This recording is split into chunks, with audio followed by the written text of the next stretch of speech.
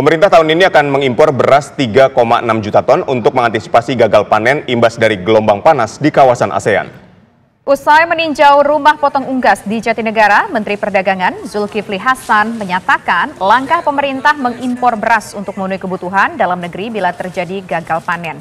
Pemerintah juga sedang melakukan penghitungan agar pasokan dan harga bahan pokok stabil.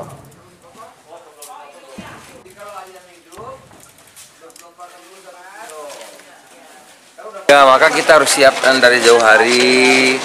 Ya, pemerintah sudah memutuskan impor beras kalau nggak salah tahun ini berapa ya?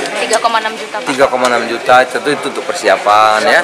Karena ini ada perubahan iklim, cuaca ekstrim di Filipina saya dengar sudah berapa tuh? Sudah 45 derajat ya.